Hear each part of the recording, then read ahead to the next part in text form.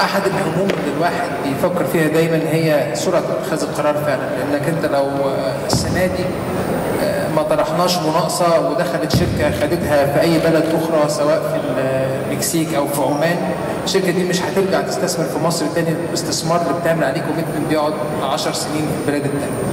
وزارة البترول في الفترة اللي فاتت صحيح فعلا عملت 35 اتفاقية وال 65 اتفاقيه دول وقعتهم وعدتهم ونتج عليهم استثمارات أنا متأكد إنها استثمارات بمبالغ هائله ولكن في فترة 2010 و2011 و2012 و2013 كانت كل سنة بتخش 20 ل 25 اتفاقية جديدة بينتج عليها إنتاج دلوقتي.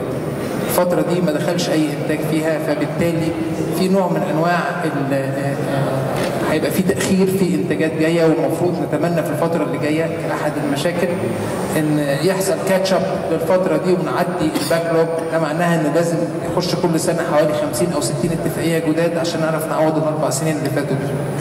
تغيير الإطار بصفة عامة للاتفاقيات ما هواش مشكلة صعبة وتقوم ببلاد زي إندونيسيا والمكسيك وكولومبيا والبلاد دي كلها أصبح عندها دلوقتي حقول ناضجة.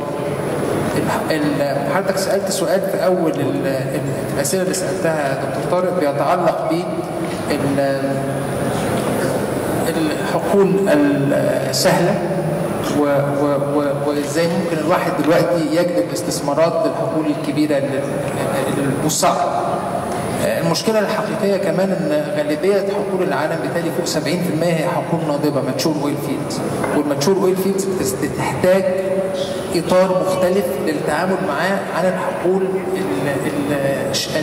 المنتجة حديثا والإطار ده مش موجود في مصر.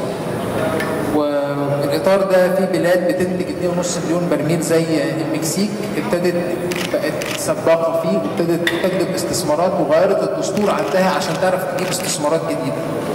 المشكلة بقى عندنا في مصر الحقيقية في الفترة اللي فاتت لأسباب كثيره جدا الناس كلها عارفينها في يعني صعوبة في اتخاذ القرار وبقى الناس دايما أي واحد بياخد قرار بيبقى خايف يتحاسب عليه ويتحاسب عليه بسرعة فما فيش أي نوع من أنواع التأمين ولا لمتخذ القرار ولا للمستثمر.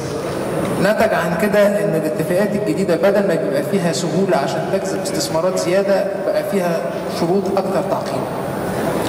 فخلت السهل بقى صعب بقى صعب اتخاذ القرار بصفة عامة حتى للمستثمر نفسه اللي يحط استثمار بقى صعب لأنه بيبقى خايف من المساءلة بعد كده. طب أنت عملت كده ليه؟ أو عملت كده ليه؟ والسبب الحكاية